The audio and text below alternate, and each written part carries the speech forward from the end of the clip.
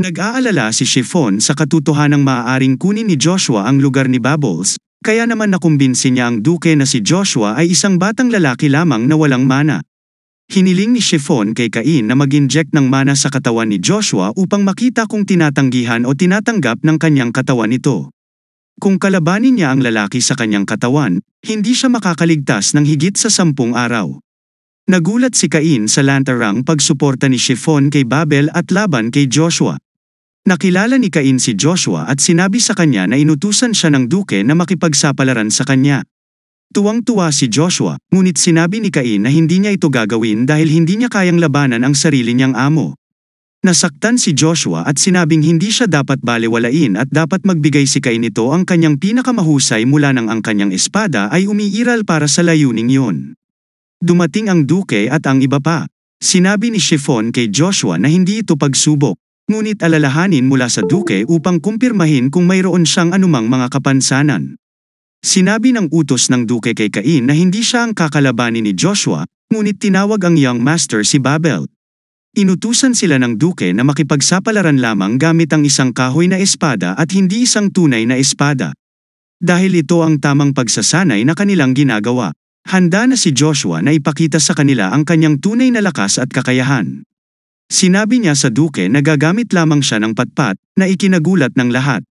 Sa pagsisimula ng laban, hinampas ni Joshua ang kanyang pamalo at kakaibang nalito si Babel.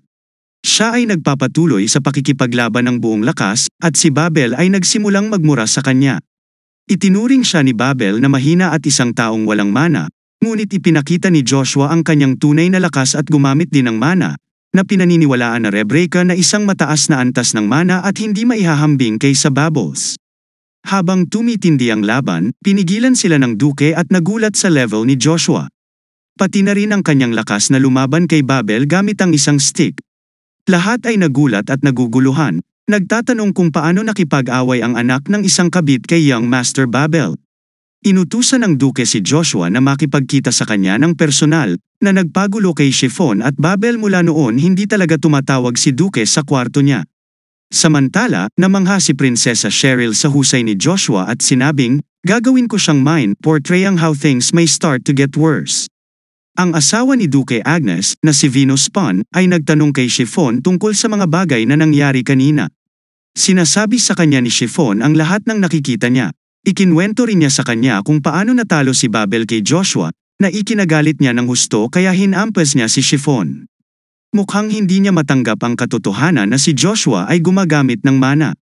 Sinabi ni Chiffon na maaaring dalhin siya ng duke sa kabisera, kung saan siya ay magbabantay sa kanya. Naniniwala si Chiffon na iaanunsyo ng duke sa mga tao na gumagamit si Joshua ng rank C magic, at maaari rin niyang gawin siyang tunggalian laban sa mga miyembro ng Royal Knights. Ito ang nagpapasaya kay Vanessa dahil gagamitin na niya ang kanyang mga sabuatan para masiguradong hindi gagawin ni Joshua ang panalo. Samantala, dumating si Joshua upang makausap ang duke at tinanong siya kung sino talaga siya, kung saan sumagot si Joshua na siya ang binata na lagi niyang kilala. Tinanong siya ng duke kung nagdamdam na ba siya sa kanya dahil sa hindi niya pinapansin ang lahat ng ito sa nakalipas na mga taon, at sinabi ni Joshua na walang ganoon.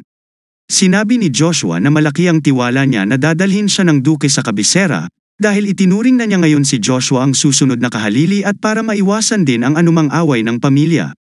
Sinabi ni Joshua sa duke na gagamit lamang siya ng sibat para sa lahat ng pagsasanay na ikinagulat ng duke. Kumpiyansa si Joshua na makakalaban pa niya ang siyam na bituin gamit ang sibat niyang taglay. Si Duke Agnes ay isa sa siyam na bituin at sinabing siya mismo ang susubok kay Joshua. Kung siya ay nanalo, ang kanyang kahilingan na gamitin ang sibat ay tatanggapin, at kung hindi, kailangan niyang umalis sa akademya para sa pagsasanay. Nakipagkita si Vanessa sa kanyang tiyuhin, na sa tingin niya ay makakatulong sa pagtalo kay Joshua at pagpapaalis sa kanya. Handa na siyang alisin si Joshua sa landas ng kanyang anak. Si Joshua ay nasa kastilyo at nakatagpo si Babel, na nag-alok na labanan siya muli. Tinanong ni Joshua si Bale kung siya ay may sapat na tiwala sa kanyang pagnanasa at pagnanais na talunin si Joshua, sinabi niyang handa na siyang labanan siya. Sa dakilang palasyo ng imperial, ipinaalam kay Marcus Van Brayton ang lahat ng mga kamakailang detalye patungkol kay Joshua. Hindi alam ni Brayton ang katotohanan na si Joshua ay anak sa labas ng duke, At minsan ang sinabi, inamin niyang naiingit siya. Ina-update din siya ng lalaki sa kumakalat na chismis tungkol sa pagkatalo ni Joshua sa Babel, at nang marinig ito ni Britton siya ay nabigla habang ang isang siyam na taong gulang ay ginawa ang pinakadakilang talento ng imperyo sa kanyang mga pagpapabagsak. Sinabi ni Britton na isang pagpapala para sa imperyo ang pagkakaroon ng isang bata na napakalakas at matapang. Sinabi ni Britton na hindi siya makakapunta dahil sa mga ligaw na aso, na nakadilat ang mga mata na naghihintay ng ilang uri ng pagkakataon. Inutusan niya ang isang imperial na prinsipe na ipadala sa mansyon upang kumpirmahin ang kakayahan ni Joshua. Samantala, muling nahuli sa away sina Joshua at Babel dahil tila hindi matanggap ni Babel ang pagkatalo. Napagtanto ni Babel na si Joshua ay may sobrang lakas at napakahirap talunin. Isang pagsabog ng aura ang naganap, na natalo si Babel sa lupa. Binalaan siya ni Joshua na layuan siya at ang kanyang ina. Sa Agnes Dukdem, si Joshua ay nasa kama, pagod at pagod. Sinabi niya na gumamit siya ng labis na mana nang hindi nagpapahinga. May tao sa pinto, at nang bumangon si Joshua para buksan ang pinto, nakasalubong niya si Cyril. Nagpakilala si Cyril at pinatawag siya sa tanghali kung gusto niya. Hindi siya nagdalawang isip na pumasok, ngunit pinigilan siya ni Joshua. Iniiwasan siya ni Joshua at hiniling na mag-buzz off. Sa bulwagan ng pagsasanay ng Duke Agnes, ang lahat ng mga centurion ay nagtipon at tila sasanayin ang young master na si Joshua. Tinanong ng dalawa sa mga kabalyero si Rolls kung nasaan ang kanyang mga kaibigan na sina Gord at Lloyd, ngunit wala silang natanggap na tugon. Hiniling ni Joshua sa lahat ng mga lalaki na salakayin siya, na ikinagulat ng lahat dahil inakala na nila na si Joshua ay mahina at hindi kayang makipaglaban sa napakaraming lalaki ng sabay-sabay. Hiniling ni Joshua kay Rolls na gawin din yun, ngunit sa pagtanggi niya, binyantaan siya ni Joshua, na sinasabi sa kanya gagawin niya sa kanya ang ginawa niya sa dalawa pang kabalyero. Bumagsak si Rolls sa lupa, humihingi ng isa pang pagkakataon. Hiniling sa kanya ni Joshua na ilabas ang kanyang talem, at kung manalo siya laban ay makakalimutan niya ang anumang nangyari. Habang inaatake ni Rolls si Joshua, gumamit siya ng mana power para lumaban, kaya bumagsak si Rolls sa lupa. Gusto ni Joshua na huwag husgahan ng mga kabalyero ang kakayahan ng sinuman batay sa kanilang hitsura. Ang lahat ng mga centurion ay lumuhad upang ipakita na inamin nila at tinatanggap na si Joshua ay nagtataglay ng ilan hindi kapanipani walang mga kasanayan, anuman ang kanyang edad. Samantala, si Cyril ay nasa kanyang silid, bigo at nalulungkot habang siya ay iniiwasan ni Joshua. Tinawag ng duke si Joshua at tinanong kung bakit niya pinarusahan ang mga centurion, at sinabi ni Joshua na nais nilang malaman na siya ay may kaparehong dugo ng duke para lang hindi na sila makaabala sa kanya at sa kanyang ina. Ang duke ay namangha sa kanyang mga pambihirang katangian at sinabing gagawin niya ang pareho o mas masahol pa. Hiniling ng duke kay Joshua na maghanda dahil kailangan nilang umalis para hatulan ang mana ni Joshua. Samantala, ang mga kabalyero ay nag-uusap sa kanilang mga sarili, at isa sa mga kabalyero ang nagsabi kay Chiffon na siya ay natatakot na baka mawala siya sa kanyang lugar dahil ang kanyang posisyon ang nakataya. Malapit nang dumating ang Royal Knight Order, at habang nangyayari ito, nasilip ni Joshua ang ikaapat na prinsipe, si Kaiser Van Britain, isang taong may mahalagang papel sa kanyang nakaraan. Buhay, si Joker, ang unang Imperial Battalion Knight Order Captain, ay kasali sa pakikipaglaban ng mga baguhan na sumali sa batalyon. Naniniwala siyang bago sila ay kailangang ihinto ang pagpapanggap ng mga knight na may maliit na manang meron sila.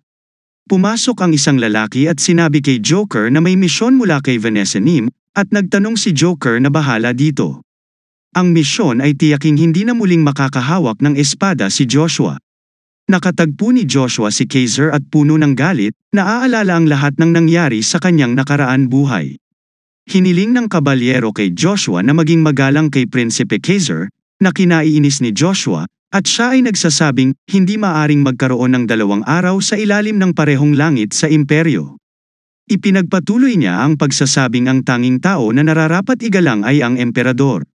Sinabi ni Kaiser Van na hindi rin niya igagalang ang isang taong may hindi tiyak na pagkakakilanlan tulad ni Joshua. Ang 9th Imperial Battalion Vice Captain, Balmung Don, ay nagpakita kasama ang kanyang mga kabalyero at lumapit kay Joshua. Tinababa niya si Joshua at tinawag siyang illegitimate child na malamang ay baliw. Inilabas ng kabalyero ni Joshua ang kanyang espada upang protektahan ang kanyang amo at binetukan ni Balmong dahil sa pagtatanggol, isang hamak na anak sa labas. Ipinagtanggol siya ng kabalyero na sinasabi na si Joshua ay bahagi ng pamilya ni Duque Agnes at dapat iginagalang.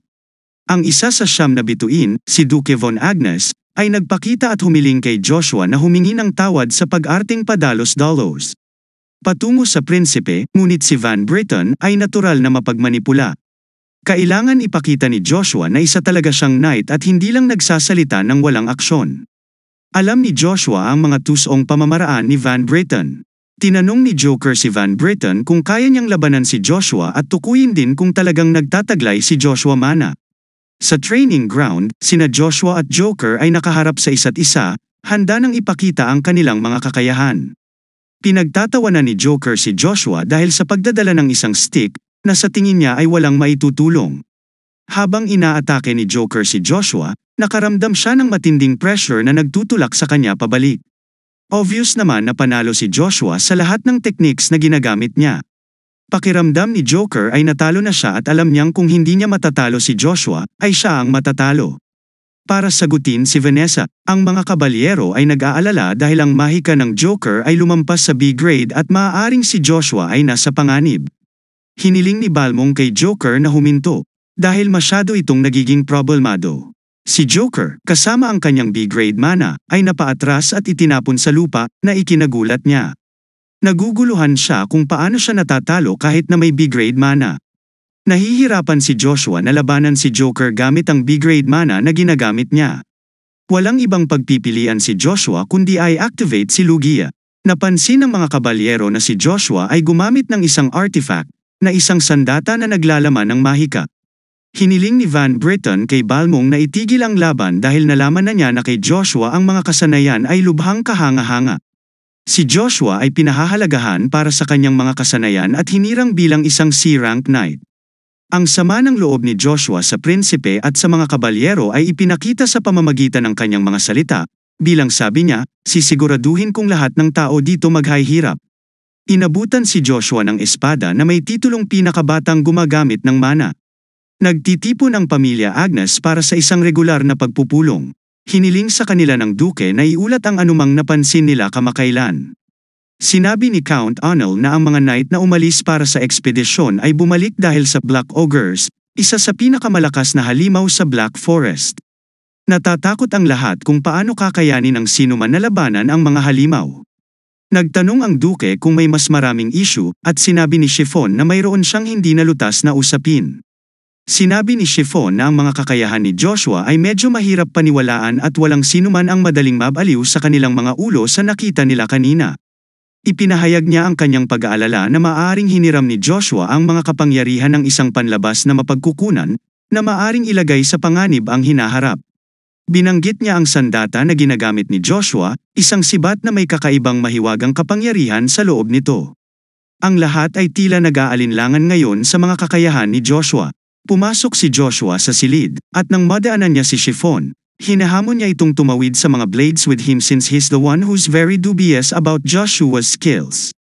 Chiffon ay na-trigger at nagsimulang sumigaw kay Joshua, na nagpagulo sa duke at nagtanong siya huminto sila.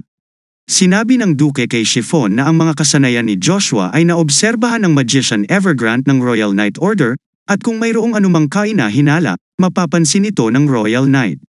Sinabi pa ng duke na may mga bagay na kailangan pa niyang kumpirmahin, kaya para malaman niya ang mga kakayahan ni Joshua, kailangan niya itong dalhin sa kagubatan ng madilim na nilalang.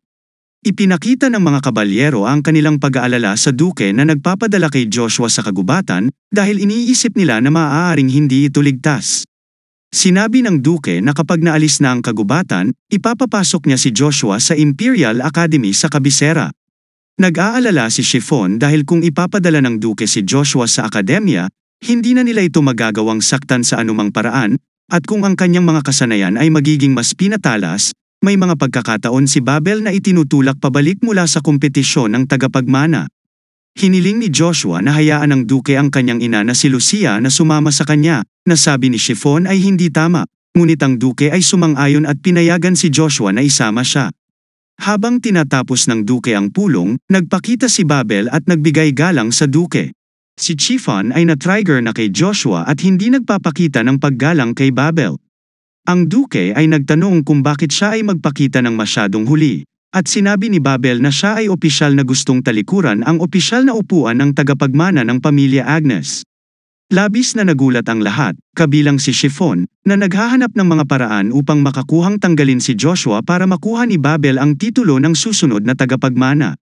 Natutuwa ang duke sa pagbabago at nakita niyang positibo ito. Samantala, si Duchess Vanessa ay nag-aalala tungkol kay Babel at sinabi na siya ay napakatigas ng ulo at hindi magbabago ang kanyang isip.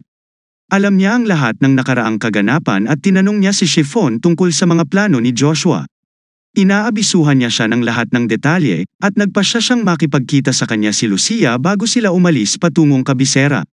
Ang mga kabalyero ay naghahanda ng umalis, at habang ginagawa nila iyon, naalala ni Joshua na ang duke ay nagbigay sa kanya ng regalo na tinatawag na Dawn Ring, na isang artifact na nagbibigay daan sa user na magsuot ng armor sa sandaling may pasok ang mana sa ring. Hiniling niya kay Joshua na baguhin ang kanyang pagkakakilanlan. Habang siya ay nasa gubat, Natutuwa si Joshua na makita ang posisyon na nakuha niya sa maikling panahon. Tinanong ng duke si Joshua kung naiinis siya sa kanya kung saan naalala ni Joshua kung paano sa susunod sampung taon ang nakalipas. Ang duke ay matugunan ng kanyang hindi inaasahang pagtatapos sa digmaang sibil, ngunit siya ay tila nabuo ang isang koneksyon sa kanya sa ngayon.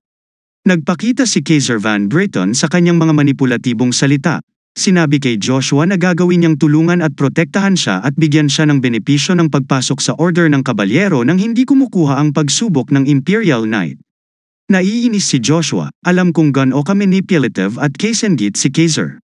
Umalis sila na may lamang isang Knight Order, ang 4th Class Magician, Arman, at isandaan at iba pa, kasama sina Joshua at Babel.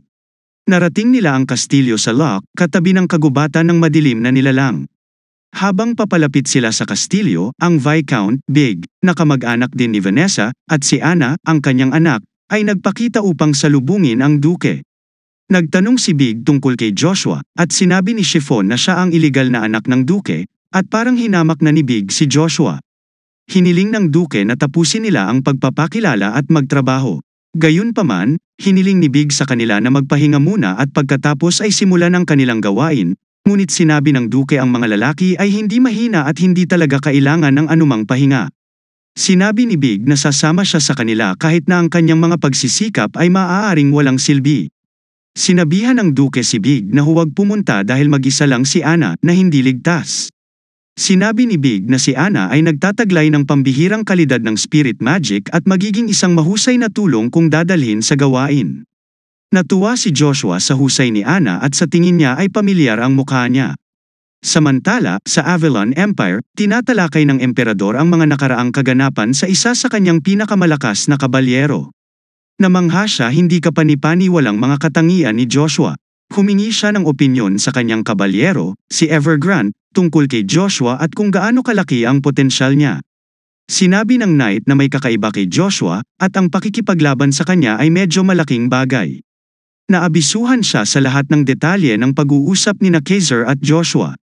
Nagtanong si Evergrande kung maaari nilang panatilihin si Joshua sa palasyo sa maikling panahon, at sagot ng kabalyero na gagawin nila ito. Dahil naplano na ito ni Kaiser. Si Joshua, gayunpaman, ay nasa kagubatan na nakikipaglaban sa mga halimaw at tila natakot sa pamamagitan nila. Ang mga kabalyero ay nagtatayo ng kanilang mga kampo para sa gabi habang ang duke ay nagsasabi sa kanila na lalabas ang mga halimaw, lalo na sa panahon ng pulang buwan, at magiging ilang beses na mas agresibo. Ang panahon sa pagitan ng mga halimaw na bumababa sa bayan ay naging mas maikli at nakakapinsala ang mga mamamayan. Ang sabi ng duke ay hindi muna sila lalapit sa kanila. Pagkatapos ay ipinadala niya silang lahat upang itayo ang mga kampo. Habang nangongolekta sila ng mga materyales para sa mga kampo, hiniling ni Joshua sa mga lalaki na bumalik dahil magtatagal pa siya sa pagkolekta ng mga materyales. Habang sila ay pumunta, si Joshua ay pumasok sa loob ng gubat dala ang kanyang sibat, na nagsasabing, ito lang ang aking pagkakataon. Nahuli si Big na sinusundan siya mula sa likod ng mga puno. May mga bagay na ipinanganak mula sa kapangyarihan ng primordial, tulad ng mayroon mga elemento sa mahika, Tinawag sila ng mga sinaunang mago na mga primordial na bato. Limang primordial na bato lamang ang nagpakita ng kanilang sarili sa mundo. Ito ay isang makadyos na bagay na hinahangad ng mga salamangkero at mga kabalyero.